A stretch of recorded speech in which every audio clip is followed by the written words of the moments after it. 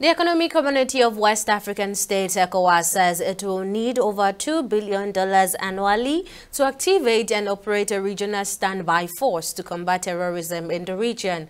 President of the ECOWAS Commission, Omar Touray, says it's collective responsibility of all 15 member states to fight against terrorism, saying the inclusion of all member states, even those currently suspended, was crucial for effective counter-terrorism efforts. He spoke at the opening section of a meeting of ECOWAS Ministers of Finance and Defense in Abuja on Thursday convened to discuss the establishment of a regional force to combat terrorism and unconstitutional government changes. The meeting followed directives from the ECOWAS Authority of the Heads of State and Government urging swift action to mobilize resources for their critical initiatives. Now, Nigeria's Minister of Defense, Mohamed Abubakar, also emphasized the critical financial implications involved in activating the standby force. All 15 ECOWAS member states have been invited to take part in this important meeting.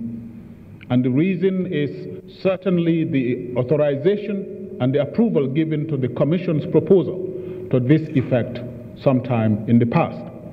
It is believed that we cannot fight terrorism alone or while others are not participating. That is why the Commission proposed to the authority through, of course, the Council of Ministers, that although countries might be under suspension, they should be allowed to take part in meetings relating to security as well as in sectoral meetings. Our gathering here today is driven by the urgent need to consider the financing options in the memorandum to be presented by the ECOWAS Commission for deploying the proposed regional force. The financial implications of those proposals are significant.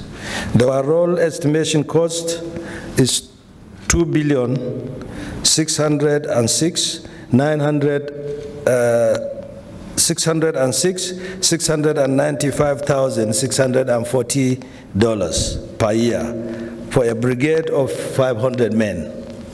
The alternative proposal is for a brigade of 1,650 men with an estimate annual cost of 481,495 5 459 865 dollars those figures underscore the gravity of the task before us and the necessity of a robust and sustainable resource mobilization strategy. It is therefore imperative that we critically review the options considering the current challenges confronting our region and the financial constraints facing our various member states.